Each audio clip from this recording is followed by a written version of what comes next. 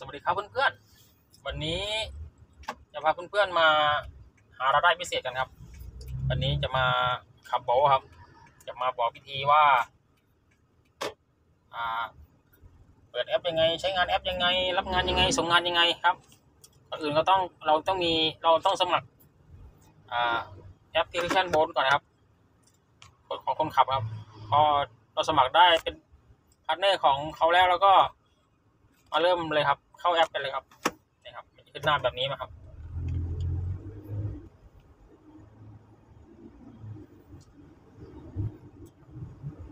ตอนนี้แอปกำลังเข้าครับ รอกันแป๊บหนึ่งครับนี่ครับเขาจะห้ามบอกว่า ห้ามผู้ขับขี่ขูดรีด การขอเงินเพิ่มหรือ หลังการเดินทาง อาจทำให้บัญชีของคุณถูกระงับได้ครับ นี่คือเขาเตือนว่าห้ามขูดรีดผู้โดยสาร แล้วก็ก็กดโอเคเข้าไปคือเราอ่านรับทราบแล้วแล้วก็ ตอนนี้ยังมันมันยังตอนนี้ยังไม่ออนไลน์นะเดี๋ยวเราจะออนไลน์ ออนไลน์ก็คือ รูปไปข้างฝาอย่างนี้ครับเห็นไหมฮะ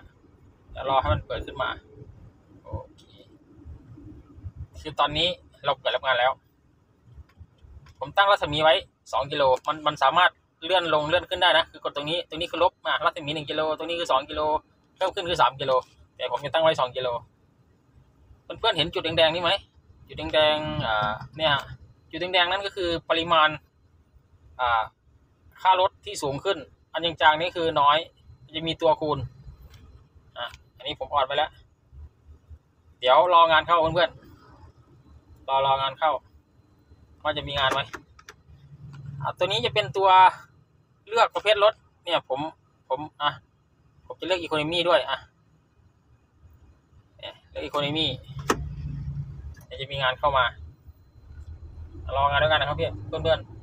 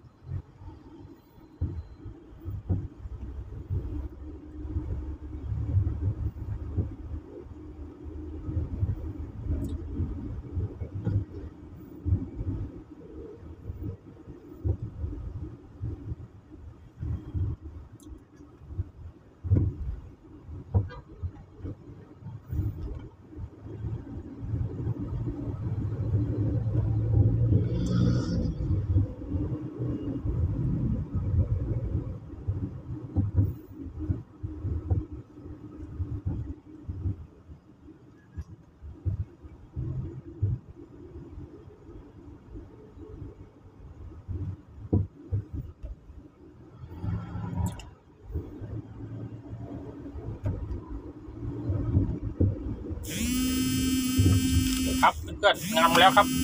หกนาทีสองเก้ากิโลเราก็กดตรงนี้ยอมรับไปเขาต้องการหนึ่งจุดหนึ่งอะนี่เพื่อนเขาจะให้เราไปรับที่ไหน ติดไฟแดงไว้ก่อน โอเคโอเคเพื่อนไปเลยไปรับลูกค้ากันเลยครับ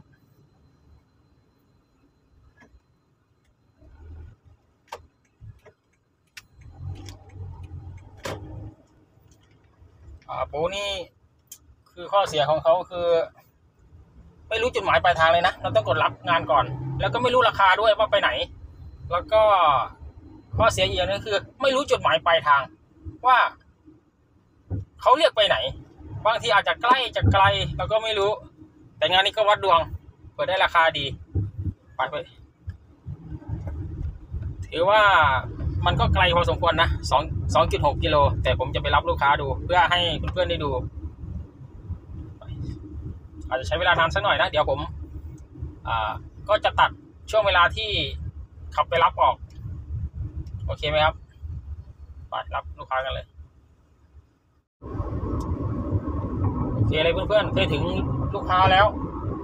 ผมคิดว่านะ ตามประสบการณ์ผมอะที่เคยขับแคปมาลูกค้าน่าจะอยู่ตรงซอยสารที เดี๋ยวเราเรากลับรถตรงนี้ก่อน ตรง อ่าเรียกอะไรที่กลับรถอ่าแยกตากสินเนี่ยเรียกอะไรเรียกมาให้สวรรค์หรือะไรนี่แหละจำไม่ได้เอากลับรถก่อน ขับรถก็ระมัดระวังด้วยเพื่อนๆดูแอปไปด้วยก็ต้องระวังไปด้วยฮะ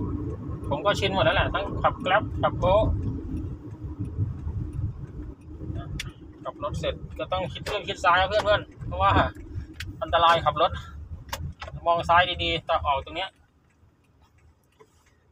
ดูกระจกดีๆฮะโอเคออกได้แล้วไม่มีรถซ้ายสุดเลย เดี๋ยวเขาน่าจะซอยสารพีแหละเดี๋ยวจะดูว่าจะรอลูกค้านานไหม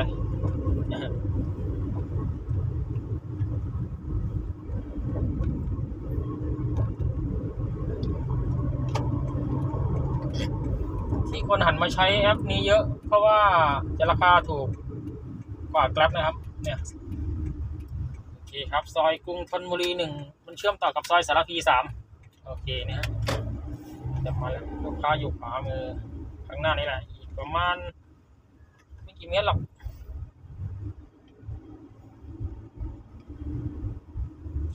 น่าจะอยู่ตรงนี้แหละ ตรงนี้ไม่บัน เวย์นะเพื่อนตรงนี้นี่เลยน่าจะอยู่แถวนี้แหละ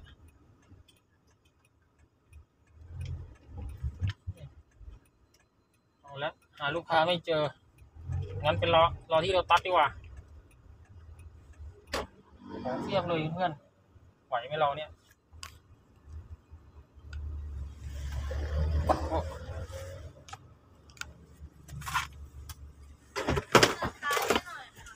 ครับผมเก็บของนั่นัน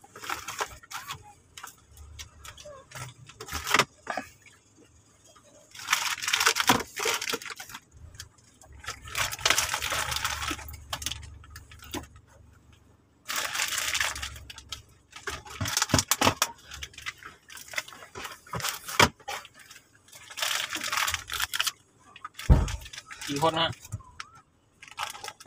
เอาขยับมา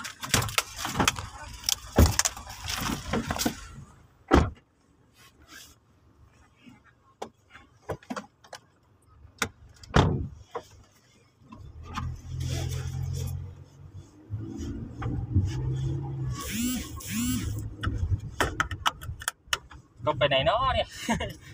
ยี่สิบเจ็ดกิโลเลย ไปเมืองทองครับไปทางด่วนหรือธรรมดาครับทางด่วนธรรมดาทางด่วนอะไรก็ได้ทางด่วนเนาะ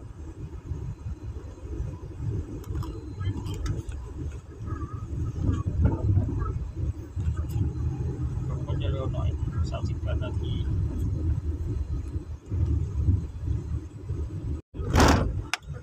แถวนี้ดูจะสูงม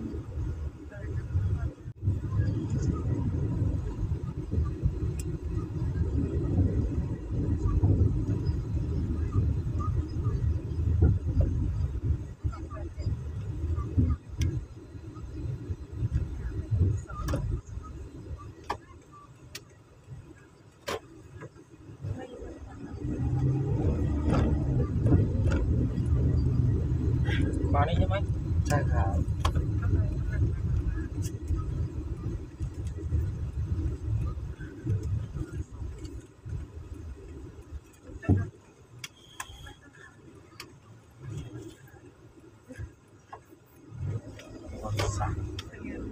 ซ้ายนี่เนาะจับตรงไปแล้วร้านเมืองทองหลวง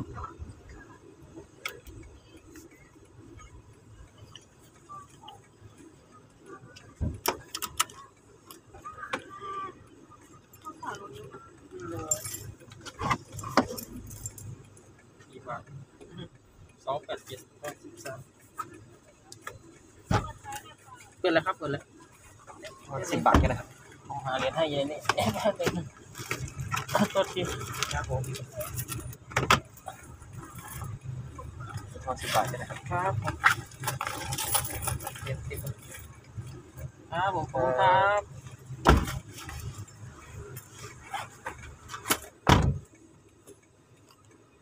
โอเคครับเพื่อนๆห้าดาวไปเลย ลูกค้าให้มาสองร้อยเก้าสิบบาท เสร็จเรียบร้อยแล้วครับ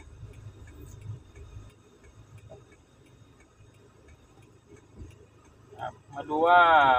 ใช้เวลาเท่าไหร่ในการโดยสารวันนี้ครับเนี่ยฮะนี่ครับ ใช้เวลาเดินทั้งหมด 38 นาทีกับเงิน 290 บาท ถือว่าคุ้มนะครับ โอเคครับ ถ้าเพื่อนๆคนไหนสนใจที่จะขับโบก็สามารถสมัครในลิงก์ที่ผมลงไว้ในคลิปแรกได้นะครับ สมัครสามารถสมัครขับได้ทั้งรถยนต์รถมอเตอร์ไซค์แต่ราคาเขาก็จะ ต่ำกว่านิดนึง รอบนี้ผมโชคดีเพราะว่าผมได้ตัวคูณ 1.1 มันก็เลยได้ 290 บาท ก็เดินทาง200อ่า29 กิโล ใครชอบคลิปวันนี้ก็ฝากกดไลค์ กดกระดิ่ง กดติดตามมาด้วยนะครับ สวัสดีครับ